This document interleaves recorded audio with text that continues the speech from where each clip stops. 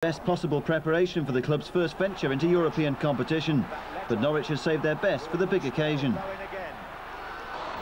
Fox, Crook, decent ball back, Ekoku, it's in! He's done it! Efan Ekoku for Norwich, great finish, and they've scored their first European goal, have Norwich City. In the first minute of this first leg, just as the Dutch team were wondering how they failed to score at the other end, watch this. It's Ian Crook with the ball forward, beautifully delivered, but what about that volley, Steve Coppell? A magnificent goal. For once, uh, little Galatuiro overcomplicating the play, getting out of defence. But what a quality pass from Ian Crook, and the finish matched the pass.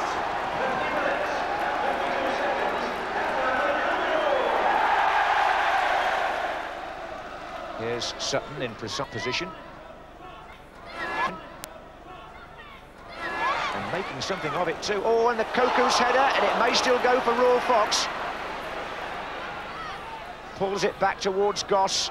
And Fox again. Culverhouse. He's onside. Ian Crook. Goss! It's 2-0 now. Jeremy Goss, the man of the moment again.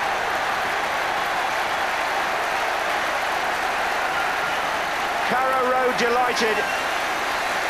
It's 2-0 in 68 minutes to Norwich City, and Ian Crook played a part in the build-up. The first ball laid in is by Culverhouse. Crook gets away from his marker there. Jeremy Goss, number 11, right foot shot, 2-0. Oh, magnificent goal there from Norwich. Great ball from Culverhouse. Crook gets to the line, drags it back. It's a good job Megson didn't make contact. It went through for Goss, and I don't think that one will win goal of the month, but it's very, very important for Norwich.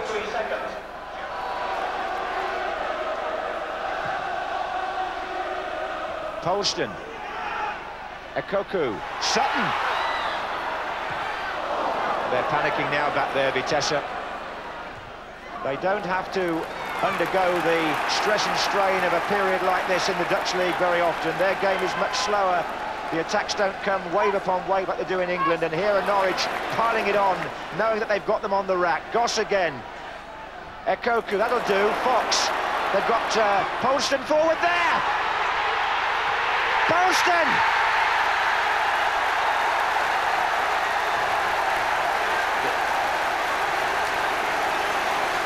What a night it is now for Norwich City.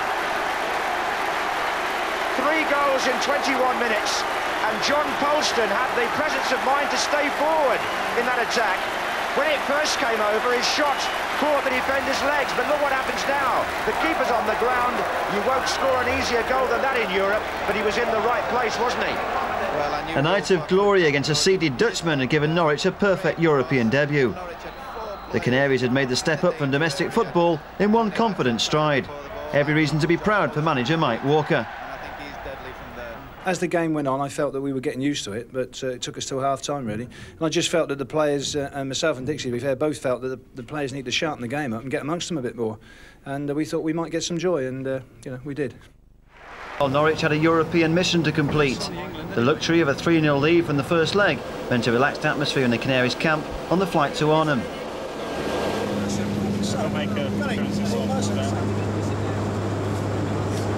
It's nice to be coming away with a three-goal lead as opposed to nil-nil or that. The most famous landmark in Arnhem is the bridge, the battleground for great losses for forces during the Second World War. But today Arnhem is a peaceful city, well in keeping with the pace of life back home in Norwich. It was an easy place for the players and the fans to relax. no, he's going to take it!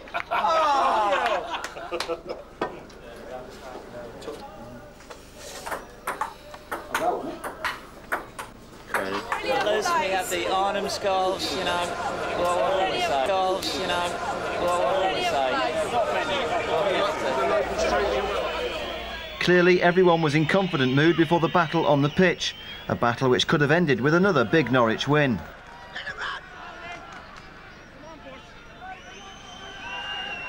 Well, Norwich planned this match rather like a military campaign. Mike Walker, the manager, has been over twice to look at the facilities. They've uh, been very careful in their preparation. And I hope that continues, and it might well, because Ruel Fox has broken clear, and he's got Ekoku square and unmarked, and Ekoku! Well, four goals on Saturday, and a glaring miss tonight. That's football for you. And Efan Ekoku could have put this tie beyond redemption, but he completely missed his kick. Ruel Fox, a great run and a superb cross. Nothing wrong with that, but it went through the through one leg and off the other.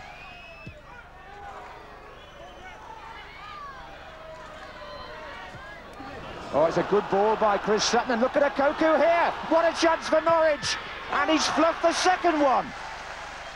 Well, would you believe it? Ekoku here was clear of the defender and he poked that straight at the goalkeeper. Two wonderful opportunities for Ekoku and Norwich to have gone clear and they've both been missed.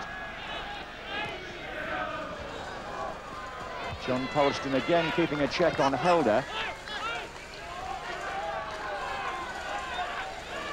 Here's Lammers.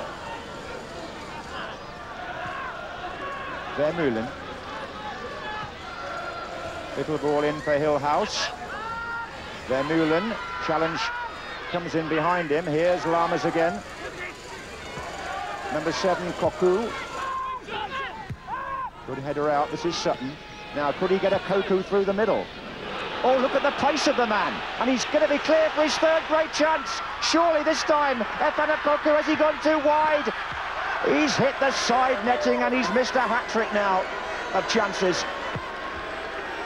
Well, he's through. He goes round the keeper, who drives him a little bit wide. If he'd gone down there, he might have got a penalty. Instead, oh, dear me.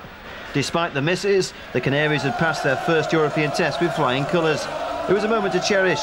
This was what the fans had come to witness, the sweet taste of success on foreign soil.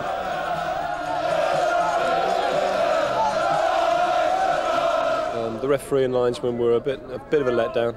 I didn't think they did their job very well. Um, we've competed well, challenged to every every ball, tackled everything, and yeah, we're delighted. To be fair, the fans who have travelled up uh, need to get a lot of credit for us. I mean, they've travelled up and it, they've made it such a good atmosphere for us. So, you know, hopefully, yeah, we've learnt from today's game that you know all we need to do is just dig in deep and all work together, and perhaps you know we could keep getting results. Hopefully. It was very a result that put Norwich in second place in the Premiership. Meanwhile, it was time to face the music in round two of the UEFA Cup. Despite their success in Arnhem, no one outside Norwich really gave City much hope in Germany's Olympic Stadium. Been reminded time and time that you know we are the underdogs, but that's how we like it. You know, people always uh, say that we're underdogs. You know, going into Europe, you know, we were underdogs against Vitesse, but you know we've got through that quite comfortably, and you know hopefully we can do the same again tomorrow night. There's no reason why we should be frightened of them. If they're better than us, they're better than us. That's all we, you know, we can go out and do our best. Uh, I'm quite happy that confidence uh, running through the team at the moment, and uh, I don't see why we shouldn't come here and and uh, I don't see why we shouldn't come here and uh, and get a result. Mm.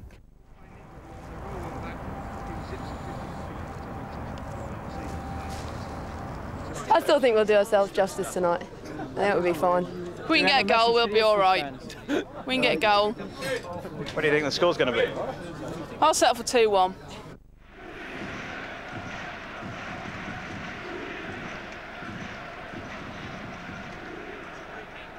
There's Sutton.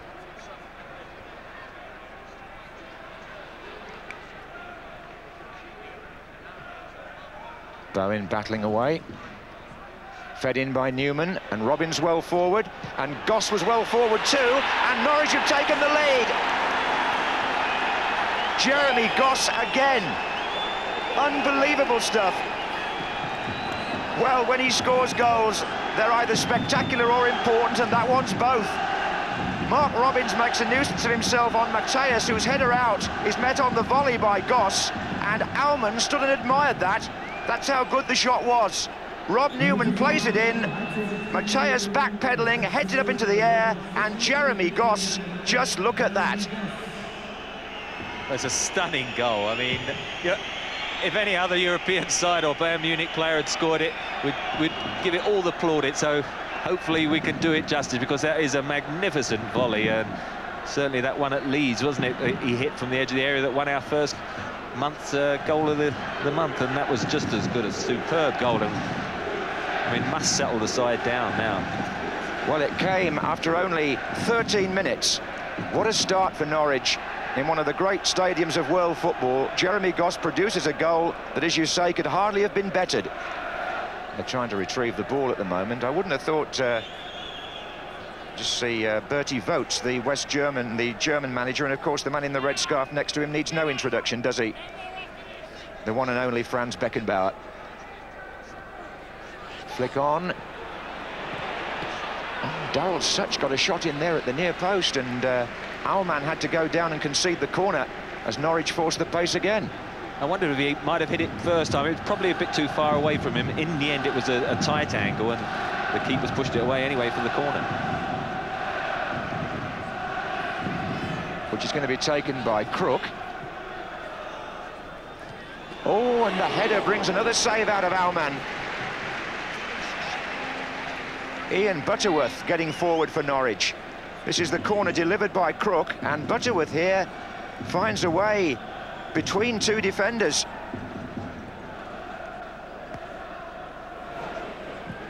Ziege, John Deehan on his feet waving from the bench.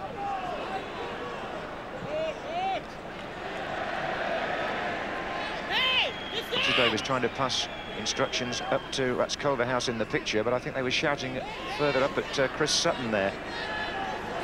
He's a bit isolated at the moment, Chris Sutton, because uh, Mark Robins coming off and Daryl Sutch substitute has come on. He's, he's, more a sort of wide midfielder, but a, rather than change the pattern too much, they've asked him to sort of be that second striker, but he is getting drawn back into that midfield, which is only natural, and, and so sometimes when they're looking to play out, they've only got Sutton, and so they, are just conceding possession a, a bit too early. Free kick to Norwich. Crook takes it. Oh, there's a bit of climbing there and a chance on the far post, and it's in! It's Mark Bowen. And Norwich are two up. this is almost fantasy football. It's amazing, isn't it? I, when the cross came over, I, I, thought there was a bit of climbing on the back here. As, as you see, it, it, hangs in the air. I, I, thought he climbed on Sutton, but of course the fullback, Jorginho, just stood and watched, and Bowen nipped in in front of him and, and just picked his spot.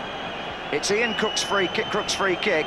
Yes, there was a case of a possible shove on Sutton, that's for sure. But look at Bowen.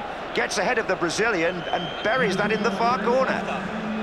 Terrific stuff from Norwich. Two goals in half an hour in the away leg and neither could Matthäus cover the ground either there. Back with Bayern now and Wouters. Well, no wonder Mike Walker had his arms raised there. And the crowd getting restless to say the least now with Bayern Munich. Here's Jorginho. Scholl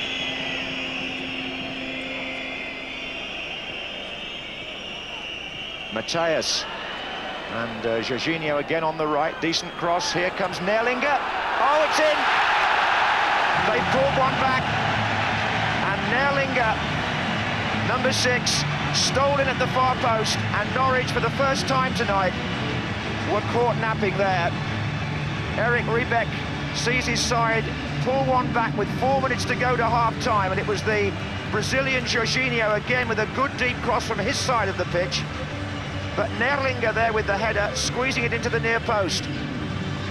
I mean, from Norwich's point of view, what, a minute or so before half-time is a desperate time to concede a goal. And, and I think you'll see Prior, Spencer Prior is the man marking Nerlinger, and he appealed to the referee to say that he was nudged as the ball was en route, but it was a good header, downward header. Bryan Gunn had no chance. Wouters now. Bit of movement ahead. Matthäus well forward again. Wouters. Jorginho. That's aimed at Valencia. Still not really away. Scholl is in there. Valencia again! Oh, point blank range. And I would have thought the Colombian might have done better there. But just got half a yard, didn't he? Look, he's got a clear strike at goal and straight at Bryan Gunn. Didn't have to move either way and a perfect height, chest height. Not the ideal finish. Corner to Bayern Munich. Helmer in the thick of it there. They've decided to play it all the way back to Lothar Matthäus. And there's the volley. It comes off a Norwich player. I think there were one or two uh, arms up for offside there when that shot was hit, but it's a corner again to Bayern. Labbadia on the goal line. Kreuzer's flick. Oh, good header out, but for how long? Matthäus. Jorginho.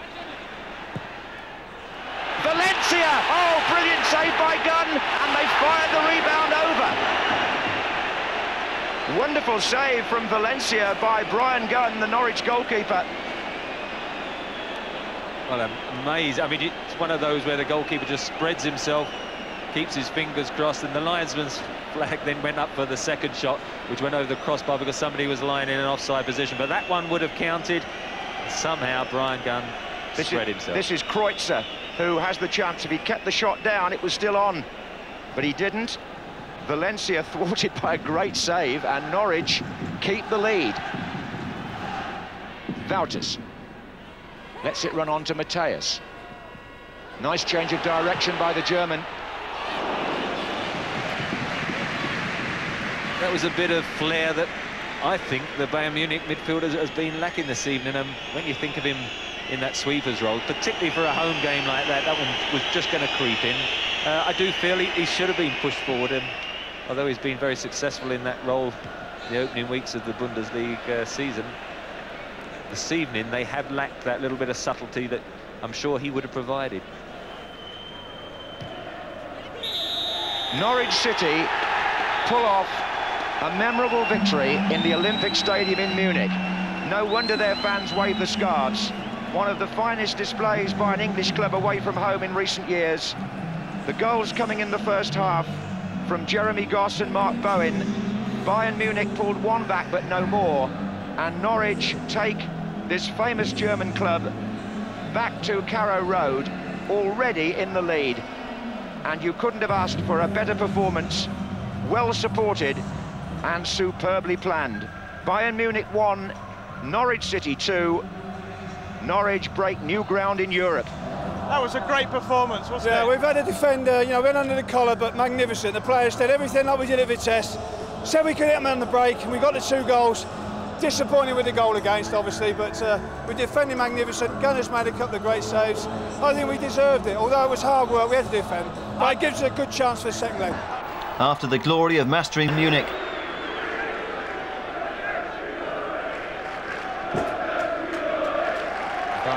uh, Valencia and Witeczek pushed right forward. And Jorginho, the Brazilian's gone up for this free kick, number two. That was Witeczek. Oh, and Dunn, Gunn just got to that before Valencia. Few hearts went in the mouth there, didn't it? It's almost like a slow motion it was. Uh, as you can see, Witeczek, the nine, just gets in front there of his marker and just bounces in front. Looks as if it might go away from him. And Valencia can't get the touch.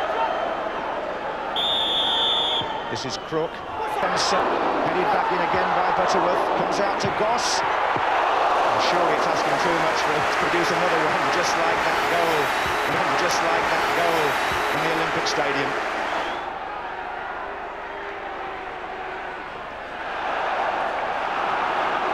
Well, he made some progress there, and on these uh, corner kicks, they've got to keep an eye on uh, the two centre-backs who come up, Helmer number five and Kreuzer four. They've both been known to score from these. It's turned in by Schupp. The header out wasn't certain, and Valencia got in, and Bayern Munich score. Adolfo Valencia swooping when the defence seemed transfixed. And what a game we've got here now.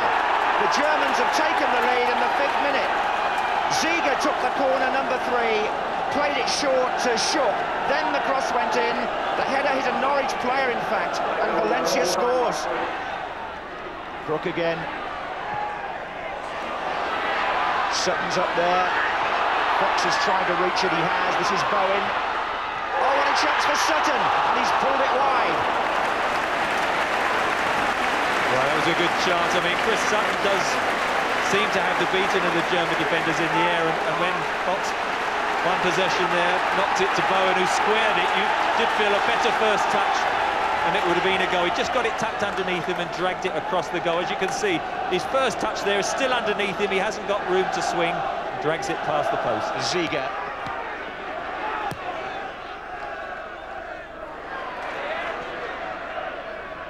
Jorginho.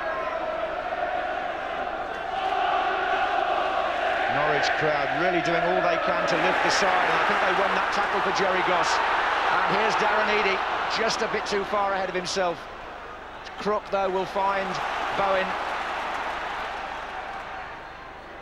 One over here, Sutton, Goss, yes! You don't need to ask who scored it. Jeremy Goss once more the hero of Norwich. There was a man over in the box from the moment the cross was struck. And the, and the Germans arguing among themselves frantically back there. Here's the cross from Bowen, and Norwich have got really three against two in there. Eadie was spare for a minute, but Goss puts it away. What an important goal this could be, Trevor. Well, Chris Sutton showing his dominance in the air. I think the goalkeeper could have come. It, it hung in the air a long, long time. He stayed on his line. The defenders, I think, were wondering whether he was going to come. And that man, Jeremy Goss, tucks the ball away.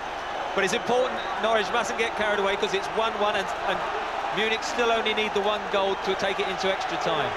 Eadie gets a foot in, goal kick. Making some busy runs, Eadie. Not found it easy against uh, the quality of, of sweeping. But I'm sure Norwich are delighted to see him still making those interceptions. I, I would have felt at some stage Wouters and Matthäus could have swapped round and let Matthäus go into that midfield position. Well, he played it so deep there, Matthäus. He played them onside. Fox. That really was poor defending, and it bore out a point Alan Hansen made at the start. Matthäus was standing virtually on his own penalty spot, and he gave two Norwich players the freedom of the pitch. Fox gets in here, with the final shot. Look where the sweeper was. Two of them were there. Fox didn't go for the right man there. This is Ziege. Kreuzer on the far side. Valencia needs picking up in the centre. Nobody did. Oh, goodness me, there's a chance here. And Norwich are all over the place. It was Scholl, and then Kreuzer, and now Sternkopf. Oh, and Scholl again. They desperately needed somebody to shout there, didn't they? Nobody seemed to know what was going on, and now the Bayern players surround the referee again. Oh, it's Matthäus. Oh, look at this, the referee's having to hold him off. Oh, card's coming out now. Yellow card for Lothar Matthäus. I'll tell you what, it'll be red if he carries on doing that.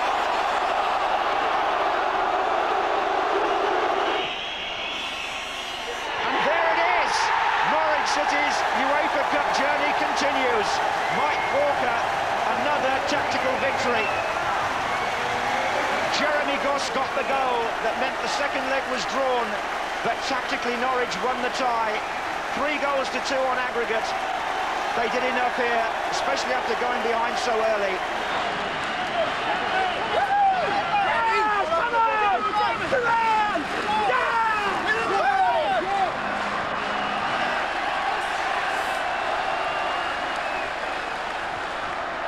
it's a nightmare conceding a goal so early on. I can't believe how uh, how unlucky we were really on the defensive corner. But there we go. We did well. We hung in there, and uh, I think we've come away worthy winners over the two legs. I caught you cold at the beginning, but I've rarely seen so much determination from the team. I know. It's obvious. Look at the crowd. Look at the occasion. You're going to get determination whoever plays. It's fantastic.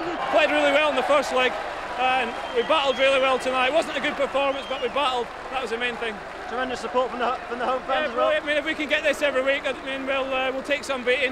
Um, our home form's not been that good this season, but if they can if they can give us all that every week, we'll be we'll be with them. What a fancy chances in this tournament now. Bring on the draw on Friday. You know, if, if we can beat Bayern Munich, we might. Um, you know, we never know what can happen in this tournament. We've really enjoyed it though. Congratulations. Thank you. The Canaries' date with destiny had ended in unprecedented scenes of celebration at Carrow Road. The fans had willed their team to victory, and there was no doubt who the man of the moment was.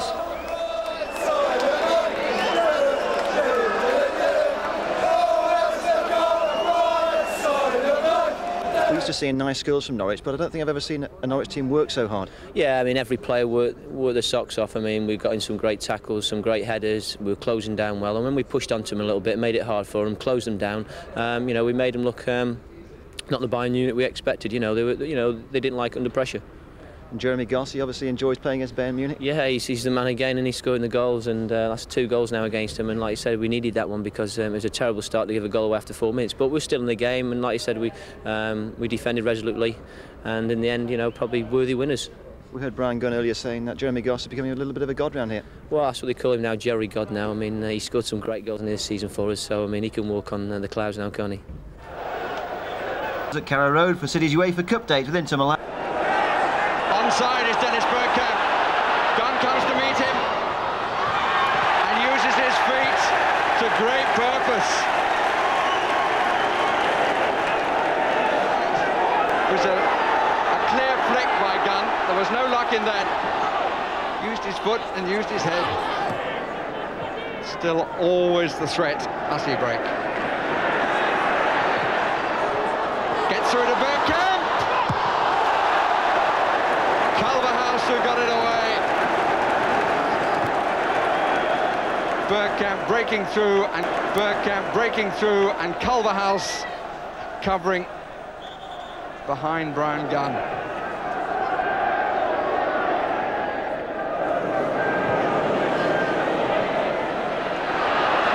Picked up by Sutton. Waited well. Goss! Off the crossbar! Comes down to Crook! Oh, so near.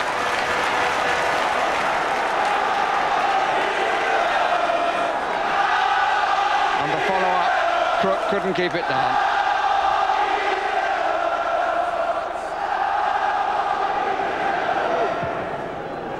Bergkamp down the middle. And again, he doesn't get it right. He felt that he was impeded. But I suspect that's more born of frustration. The ball wouldn't sit for him.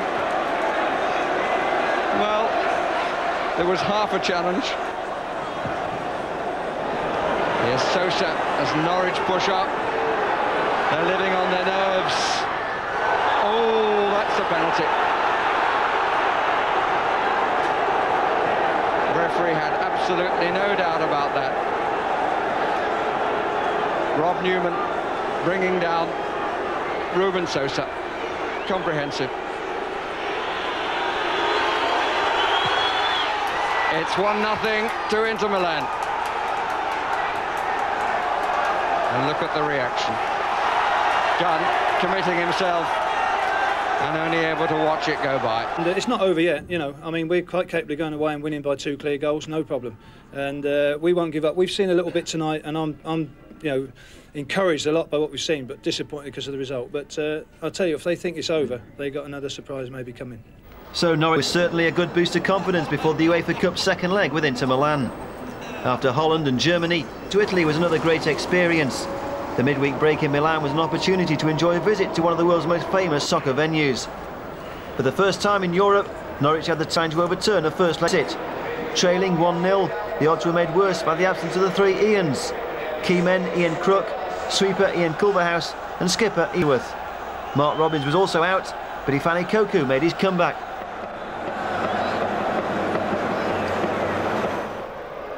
Sutton didn't quite make it. Didn't quite make it. Off the eyebrows of uh, Megson. Well seen by Bowen. And onside at Koku. Beautifully taken. Oh, but wide. They're looking at the linesman, but he said onside. And Koku took it beautifully on his thigh. But then off the outside of the right boot, it wouldn't come back in for him.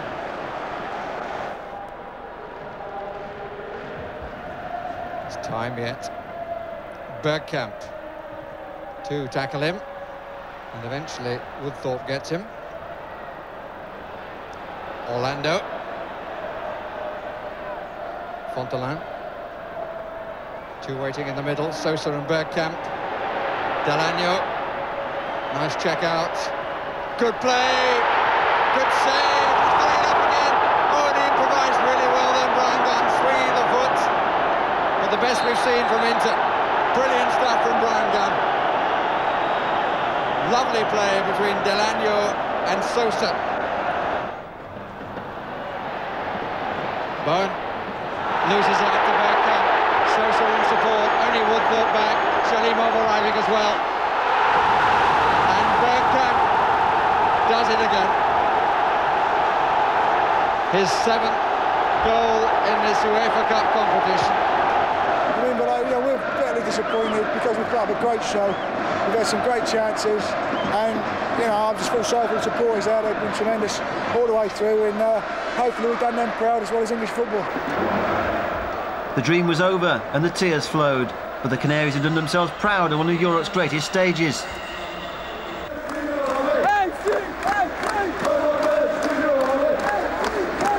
Five days after the draining experience of their UEFA Cup exit in Milan, Norwich were back in the spotlight in the Premiership.